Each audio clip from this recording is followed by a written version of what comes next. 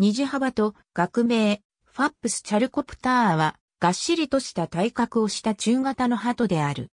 オーストラリア固有種で、非常に不毛な荒野や密生した熱帯雨林を除く、あらゆる環境に生息しており、オーストラリアでは最も一般的な鳩の一つである。体長は28から36センチメートル、体重は325から350グラム。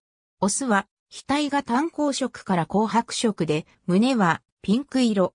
死有とも目の周りに目立つ白い線を持つ。羽には虹幅と特有の赤、青、緑を呈するブッチがある。通常、若鳥は成長より鈍い色をしており、褐色味を帯びる。水辺から離れたところでは、ほとんど見られない。単独、番、あるいは群で行動し、一般的に用心深く人間や他の動物が近づくことは困難である。種子やあらゆる植物を主に食する。元無餌の際は将軍で行動する。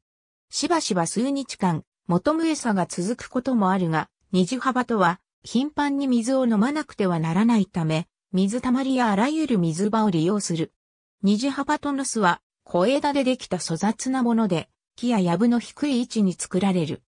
放卵期間はおよそ14日から16日で、死有ともに放卵、育成を行う。他の鳩と同様、親鳥は吐き出した乳状の繁殖化物をヒナに与えて育てる。ありがとうございます。